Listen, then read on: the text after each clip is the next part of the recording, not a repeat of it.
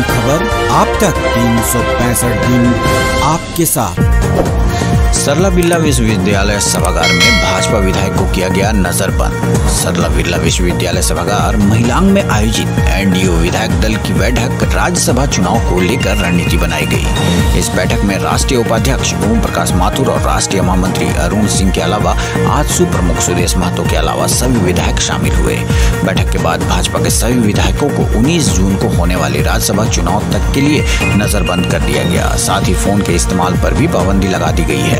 वहीं बैठक के बाद आज प्रमुख सुदेश महतो ने कहा चुनाव में दो उम्मीदवार होते तो बेहतर होता। वहीं भाजपा विधायक नीलकंठ सिंह मुंडा ने कहा कि भाजपा के पास पर्याप्त आंकड़े हैं। भाजपा प्रत्याशी की जीत तय है। और सारे एनडीए के जो हम लोग घटक दल हैं सारे लोग बैठक में थे और निश्चित रूप से भारतीय जनता पार्टी दीपक प्रकाश जी का जीत सुनिश्चित है। चलिए जहाँ तक राज्यसभा चुनाव के संदर्भ में है तो आदरणीय गुरुजी झारखंड मुक्ति मोर्चा के प्रत्याशी हैं। और झारखंड मुक्ति मोर्चा के पास पर्याप्त वोटर हैं कि आदरणीय गुरुजी राज्यसभा के सदस्य बने।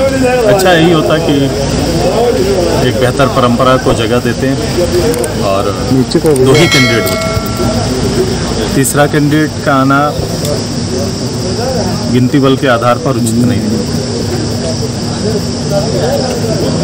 मैं उनके उस आंदोलनकारी आंदोलनकारी के विचार को बेहतर समझेगा, उसका सम्मान इसका सम्मान करते हैं।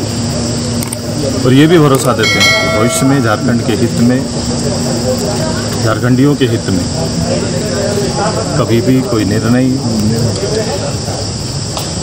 या फिर झारखंड के हित का कोई भी पहल हो, निश्चित रूप से हम, उनका ऐसा कोई विचार आएगा तो उस विषय पर हम लोग सहज होंगे। कि हम पूर्व काल से भी एनडीए के साथ रहे चुनाव निश्चित रूप से हम सभी लोगों ने अलग लड़ा। परिस्थितियाँ थी। भारतीय जनता पार्टी ने ही संयुक्त रूप से फिर से इसको बल देने का और हम सभी लोगों ने पार्टी के स्तर से भी निर्णय लिया। एक साधारण कार्यकर्ता के रूप में आज प्रदेश अध्यक्ष दीपक जी को समर्थन देने का निर्णय संगठन ने लिया। एनडीए विधायक दल के बैठक के दौरान विधायकों को किया गया हाईजेक। राज्यसभा चुनाव होंगे नजरबंद। 19 जून को दो सीटों के लिए होना है राज्यसभा चुनाव।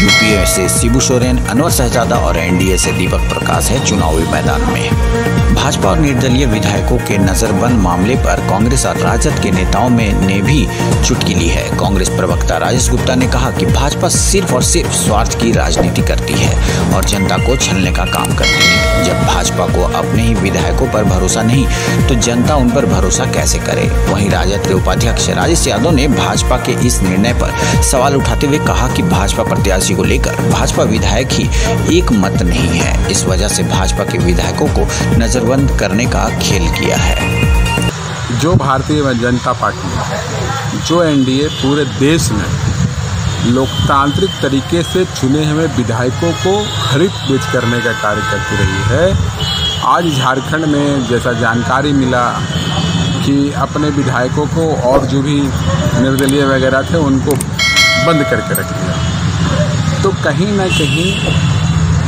एनडीए की फूट का ये शुरुआत है। क्योंकि लोग जान गए हैं अब कि जिस प्रकार एनडीए के नेताओं ने पूरे देश में इस कोरोना के प्रभाव में हो, या फिर अभी जो करंट घटना घटी है चीन और भारत के बॉर्डर पे, हर एक लोग आक्रोशित हो गया है कि कब तक झूठ बोलकर, कब तक मन की बातें कर कर कब तक दीप जलाकर, ढोल पीटकर, थाली पीटकर ताली बजाकर लोगों को गुमराह करें।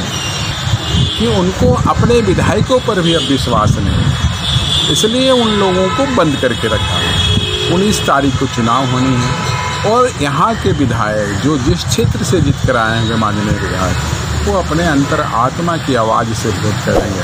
अन्यथा उनके क्षेत्र की जनता उनसे सवाल श्योर पूछेगी, ज़रूर पूछेगी कि आपने ऐसा क्यों किया? भारतीय जनता पार्टी